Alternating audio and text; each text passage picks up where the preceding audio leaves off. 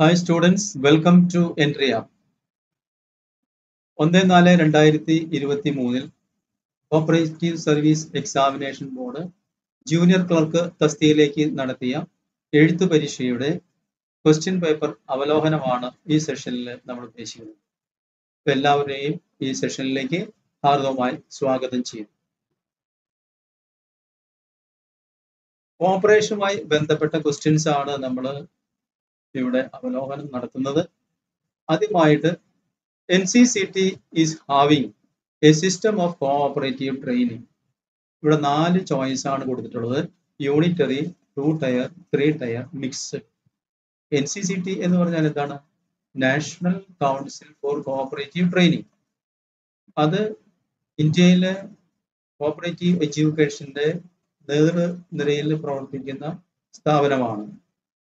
അതിന്റെ കീഴിൽ വാംനിക്കോ apex level അതുപോലെ തന്നെ I C M institute of cooperative management middle level അതിന്റെ താഴെ സ്റ്റേറ്റ് കോപ്പറേറ്റീവ് യൂണിയൻ നടത്തുന്ന subordinate staff train H D C G D C കോഴ്സുകളെല്ലാം അതിന്റെ കീഴിൽ വരും. അങ്ങനെ ത്രിതല സംവിധാനത്തിലാണ് കോപ്പറേറ്റീവ് ട്രെയിനിങ് ഇന്ത്യയിൽ ഓർഗനൈസ് ചെയ്തിട്ടുള്ളത്. അപ്പൊ N C C T is having a three tier system of cooperative training the answer C ആണ്. Out of the total sugar mills in the country dash percentage are in the cooperative sector നമുക്കറിയാം പഞ്ചസാര ഉൽപാദന രംഗത്ത് India ലോകത്തിലെ ഒരു നിർണായകമായിട്ടുള്ള ഒരു ശക്തിയാണ്. പഞ്ചസാര ഉൽപാദനത്തിലെ സഹകരണ സംഘങ്ങൾ അല്ലെങ്കിൽ സഹകരണ സംഘങ്ങൾ രൂപീകരിച്ചിട്ടുള്ള ഷുഗർ ഫാക്ടറികൾ വളരെ നിർണായകമായിട്ടുള്ള പങ്ക് വഹിക്കുന്നുണ്ട്. എത്ര ശതമാനമാണ് ഇന്ത്യയിലെ ഷുഗർ മില്ലുകൾ സഹകരണ മേഖലയിൽ പ്രവർത്തിക്കുന്നത്? ക്വസ്റ്റ്യൻ നാല് ചോയ്സ് തന്നിട്ട് fifty six percentage forty five percentage seventy two percent twenty three percentage the answer B forty five percentage ആണ് oil seeds marketing society is a oil seeds നമുക്കറിയാം നാണ്യ വിളകൾ. അതിന്റെ മാർക്കറ്റിംഗ് സൊസൈറ്റികൾ പ്രവർത്തിക്കുന്നത് എത്തരത്തിലുള്ള സൊസൈറ്റികളാണ്. Single commodity marketing society multi commodity marketing society multi purpose multi commodity marketing society നമുക്കറിയാം oil seeds ഒക്കെ പലതരത്തിലുള്ള ഓയിൽ സീഡ്സ് അപ്പോൾ ഇതെല്ലാം ഈ മാർക്കറ്റിംഗ് സൊസൈറ്റികൾ പ്രൊക്യൂർ ചെയ്യാറുണ്ട്. അപ്പോൾ oil seeds marketing society is a commodity marketing society B is the answer which of the following was not a Rochdale principle നമുക്കറിയാം ആയിരത്തി എണ്ണൂറ്റി നാൽപ്പത്തി നാലിൽ രൂപീകൃതമായ Rochdale society of equitable pioneers അതാണ് മോഡേൺ കോപ്പറേറ്റീവ് മൂവ്മെന്റിന്റെ അടിത്തറ പാകിയ cooperative organisation അതാണ്. വളരെ successful ആയിട്ട് പ്രവർത്തിച്ച ഒരു ഓർഗനൈസേഷൻ ആണ് അല്ലെങ്കിൽ ഒരു കോപ്പറേറ്റീവ് ഓർഗനൈസേഷൻ ആണ്. അത് സക്സസ്ഫുൾ ആവാൻ കാരണം എന്താണെന്ന് വെച്ചിട്ടുണ്ടെങ്കിൽ Rochdale principle seven Rochdale principles frame ചെയ്ത് ആ പ്രിൻസിപ്പിൾസിന്റെ അടിസ്ഥാനത്തിലാണ് സൊസൈറ്റി പ്രവർത്തിക്കുന്നത്. റോച്ചഡൈൻ താഴെ പറഞ്ഞിരിക്കുന്നതിൽ റോച്ചഡൈൻ പ്രിൻസിപ്പിൾസ് അല്ലാത്തത് ഏതാണ് question open membership limited interest on capital cash trading cooperation among cooperatives ഇതിൽ ആദ്യത്തെ മൂന്നെണ്ണം റോച്ചഡൈൻ പ്രിൻസിപ്പിൾ ആണ്. Rochdale principle പെടാത്തത് cooperation among cooperatives cooperation among cooperatives എന്ന് പറയുന്നത് modern cooperative principle sixth principle ആണ് cooperation which of the following is not a feature of cooperative കോപ്പറേറ്റീവ്സിന്റെ സവിശേഷത അല്ലാത്തത് താഴെ പറയുന്നതിൽ ഏതാണ്? It is an association of person the basis is equality service and profit objective it is a socio economic development A B and D ഇത് മൂന്നും കോഓപ്പറേറ്റീവിന്റെ features ആണ്. അപ്പോൾ കോഓപ്പറേറ്റീവിന്റെ features അല്ലാതെ വരുന്നത് സർവീസ് ആൻഡ് ഒബ്ജക്റ്റീവ് നമുക്കറിയാം കോഓപ്പറേറ്റീവ് സൊസൈറ്റികൾ ലാഭം ലക്ഷ്യം വയ്ക്കുന്നില്ല. സർവീസ് ആണ് main the N C D C act was passed N C D C എന്ന് പറഞ്ഞാൽ നമുക്കറിയാം national cooperative development corporation corporation അല്ല corporation national cooperative development corporation government of India പാർലമെന്റിൽ പാസ്സാക്കിയിട്ടുള്ള ആയിരത്തി തൊള്ളായിരത്തി അറുപത്തിരണ്ടിലെ നിയമപ്രകാരം രൂപീകൃതമായിട്ടുള്ള ഒരു സ്റ്റാറ്റ്യൂട്ടറി ബോഡിയാണ് അപ്പോൾ 1962, 63, 64, 66. The correct answer is 1962.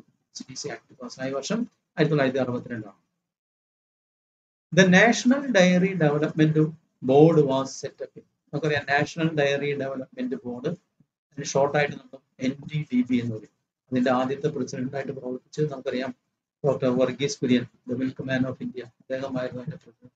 പ്രഥമ പ്രസിഡന്റായിട്ട് പ്രവർത്തിച്ചത്.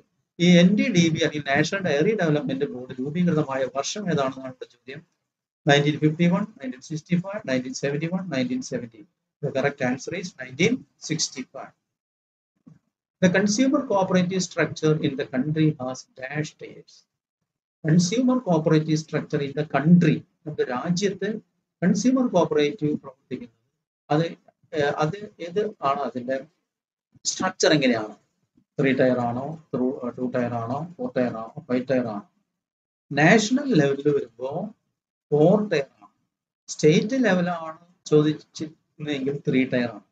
നാഷണൽ ലെവലിൽ വരുമ്പോൾ നമുക്കറിയാം അപ്പെക്സ് ലെവലിൽ N C C C F national consumer cooperative federation.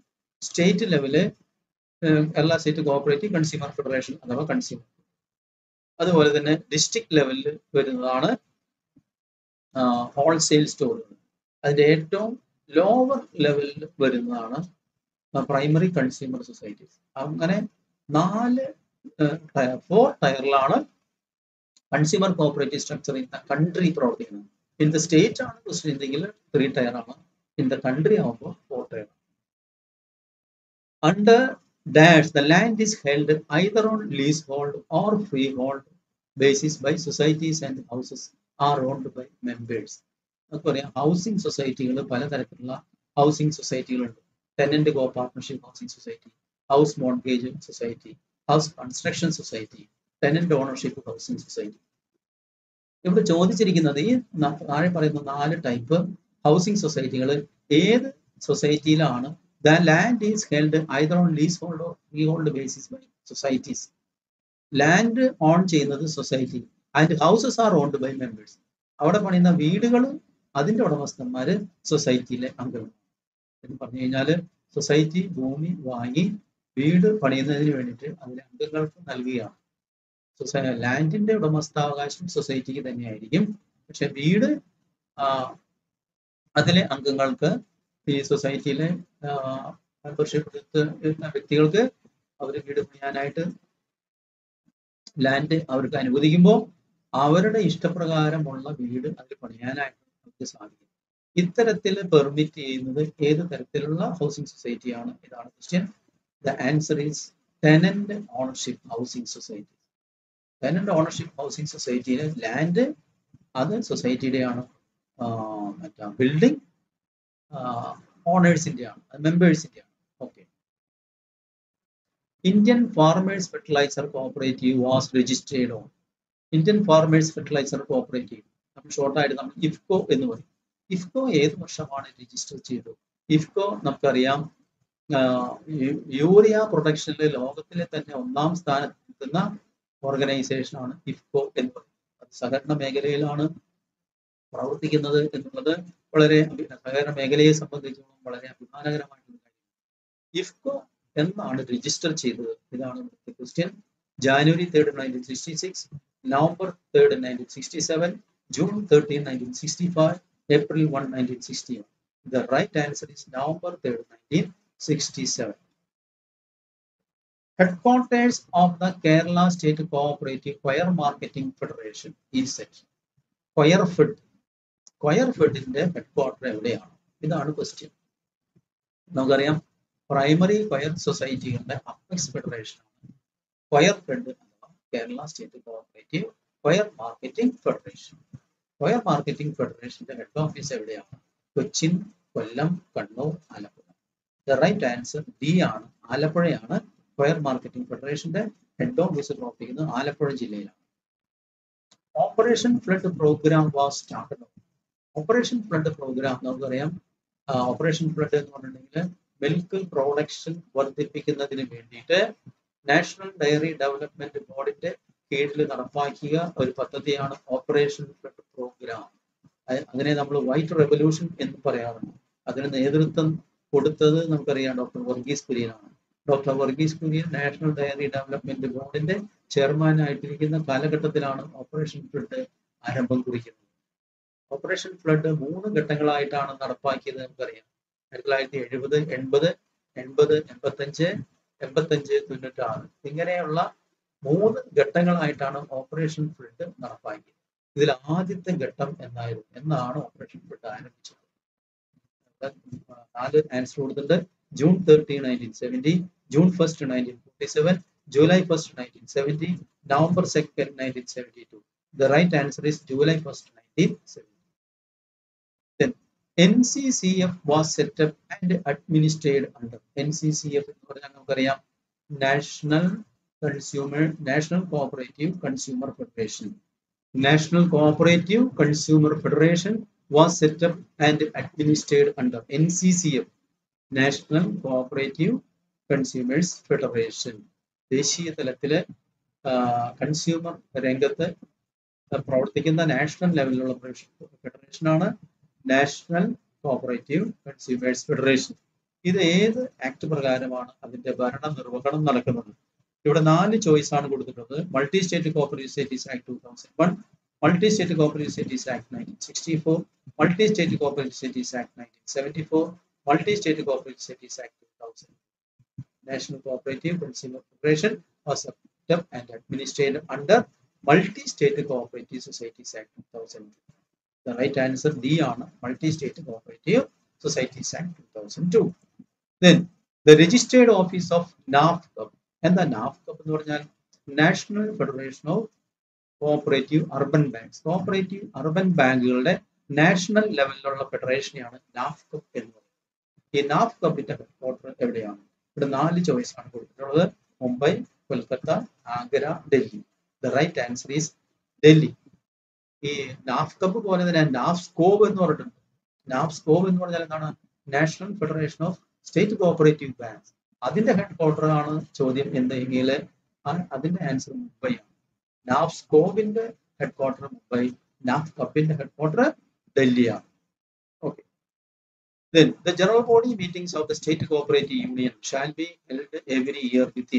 നമുക്കറിയാം സ്റ്റേറ്റ് കോഓപ്പറേറ്റീവ് യൂണിയൻ നമ്മുടെ സംസ്ഥാനത്ത് കോപ്പറേറ്റീവ് മൂവ്മെന്റിന്റെ ലീഡറായിട്ട് പ്രവർത്തിക്കുന്ന ഒരു നോൺ ഗവൺമെന്റ് ഓർഗനൈസേഷൻ ആണ് state cooperative union state cooperative യൂണിയന്റെ കീഴിലാണ് കോപ്പറേറ്റീവ് എഡ്യൂക്കേഷൻ ട്രെയിനിങ് പ്രോഗ്രാമുകൾ അതുപോലെ തന്നെ ഇന്റർനാ sorry international cooperative day cooperative week celebration cooperative congress ഇതൊക്കെ നടത്തുന്നതിന് നെടുനായക സ്ഥാനം വഹിക്കുന്നത് അല്ലെങ്കിൽ നേതൃത്വം നൽകുന്നത് സ്റ്റേറ്റ് കോപ്പറേറ്റീവ് യൂണിയൻ ഈ സ്റ്റേറ്റ് കോപ്പറേറ്റീവ് യൂണിയന്റെ ജനറൽ ബോഡി കൂടേണ്ടത് വർഷത്തിലൊരു ജനറൽ ബോഡി കൂടണം ആ ജനറൽ ബോഡി കൂടേണ്ടത് എപ്പോഴാണ് ഇതാണ് ക്വസ്റ്റ്യൻ ഇവിടെ നാല് ചോയ്സ് ആണ് കൊടുത്തിട്ടുള്ളത് six months of the close of the year nine months of the close of the financial year three months of the close of the cooperative year two months of the close of the cooperative year the right answer three ആണ് C ആണ് എന്താണ് three months of the close of the cooperative general body meeting of the state cooperative union shall be held every year within three months of the close of the cooperative. Then the next question, the International Cooperative Alliance, in short, ICA, in dash appointed a subcommittee for the second reformulation of cooperative principles. International Cooperative Alliance നമുക്കറിയാം അന്താരാഷ്ട്ര തലത്തിലെ cooperative മൂവ്മെന്റിന്റെ നായകസ്ഥാനം വഹിക്കുന്നതാണ് International Cooperative Organization. Alliance, International Cooperative alliance ഈ international cooperative alliance ആണ് cooperative principles formulate ചെയ്തിട്ടുള്ളത്. ഈ കോപ്പറേറ്റീവ് പ്രിൻസിപ്പിൾസ് ഫോർ സ്റ്റേജസിലാണ് കോപ്പറേറ്റീവ് അലയ കോപ്പറേറ്റീവ് പ്രിൻസിപ്പിൾസ് ഫോർ ഫോർമുലേറ്റ് ചെയ്തത്. Cooperative principles formulated in four stages ആ ഫോർ സ്റ്റേജസ് എന്ന് പറഞ്ഞു കഴിഞ്ഞിട്ടുണ്ടെങ്കിൽ ആയിരത്തി എണ്ണൂറ്റി നാൽപ്പത്തി നാലിലെ റോച്ചഡേൽ പ്രിൻസിപ്പിൾ ആയിരത്തി തൊള്ളായിരത്തി മുപ്പത്തി ഏഴിൽ ഐ സി എ ആദ്യമായിട്ട് കോപ്പറേറ്റീവ് പ്രിൻസിപ്പിൾ ഏറ്റെടുക്കുന്നു. പിന്നീട് ആയിരത്തി തൊള്ളായിരത്തി അറുപത്തി ആറിൽ ഒരു റിവിഷൻ വരുന്നു. പിന്നീട് ആയിരത്തി തൊള്ളായിരത്തി തൊണ്ണൂറ്റഞ്ചിൽ മൂന്നാമത്തെ റിവിഷൻ വരും. അപ്പോ I C A cooperative principles adopt ചെയ്തതിന് ശേഷം അത് മൂന്ന് പ്രാവശ്യം റിവൈസ് ചെയ്തു ഏറ്റെടുക്കുമ്പോൾ തന്നെ റോച്ചറൈൽ പ്രിൻസിപ്പിൾ അതിനെ റീഫോർമുലേറ്റ് ചെയ്തിട്ട് എസെൻഷ്യൽ പ്രിൻസിപ്പിളും നോൺ എസെൻഷ്യൽ പ്രിൻസിപ്പിളും എന്ന് പറഞ്ഞിട്ടാണ് അത് ഐ സി ഏറ്റെടുത്തത്. പിന്നീട് രണ്ടാം ഘട്ടമായിട്ട് വീണ്ടും ഒരു പരിഷ്കരണം നടത്തുകയുണ്ടായി. വീണ്ടും ഈ കോപ്പറേറ്റീവ് പ്രിൻസിപ്പിൾസ് റീഫോർമുലേറ്റ് ചെയ്യുന്നതിന് ആയിരത്തി തൊള്ളായിരത്തി അറുപത്തിനാലിൽ ഡി ജി കാർവി അധ്യക്ഷനായ ഒരു കമ്മിറ്റിയെ നിയമിക്കുകയും ആ കമ്മിറ്റി റിപ്പോർട്ട് ആയിരത്തി തൊള്ളായിരത്തി അറുപത്തി ആറിൽ സമർപ്പിക്കുകയും ഡി ജി കാർവേ റെക്കമെൻഡ് ചെയ്തതിന്റെ അടിസ്ഥാനത്തിൽ അല്ലെങ്കിൽ സജസ്റ്റ് ചെയ്ത അടിസ്ഥാനത്തിൽ six cooperative principle cooperation and cooperatives എന്ന പ്രിൻസിപ്പിൾ നിലവിൽ വരികയും ചെയ്തത് അപ്പോൾ second reformulation of cooperative principles അതിനു വേണ്ടിയിട്ട് സബ് കമ്മിറ്റി അപ്പോയിന്റ് ചെയ്ത വർഷമാണ് ഇവിടെ ചെയ്തിട്ടുള്ളത്.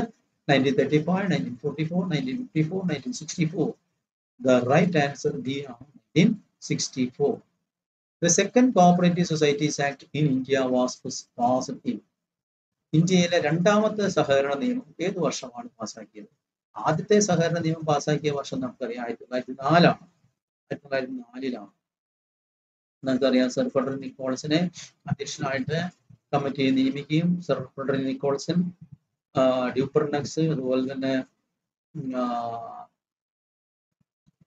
ഫെഡറൽ നിക്കോൾസൺ അതിലെ മെമ്പർ ആയിരുന്നു. അതിന്റെ എഡ്വേർഡ് ലോ എഡ്വേർഡ് ലോ അധ്യക്ഷനായിട്ടുള്ള ഒരു കമ്മിറ്റിയാണ് നിയമിച്ചത്. എഡ്വേർഡ് ലോ കമ്മീഷൻ എന്നാണ് ഈ പറയുന്നത്. ലോ ആ കമ്മിറ്റിയിലെ അംഗങ്ങളാണ് നമ്മൾ നേരത്തെ പറഞ്ഞ ഡ്യൂപ്പർനെക്സും നിക്കോൾസും.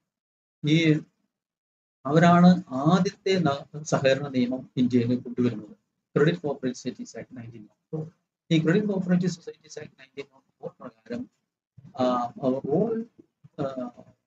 അർബൻ ഏരിയയിൽ നോൺ ക്രെഡിറ്റ് സൊസൈറ്റീസ് രൂപീകരിക്കുന്നതിലുള്ള അല്ലെങ്കിൽ നോൺ ക്രെഡിറ്റ് സൊസൈറ്റി രൂപീകരിക്കുന്ന പ്രൊവിഷൻ ഉണ്ടായിരുന്നു.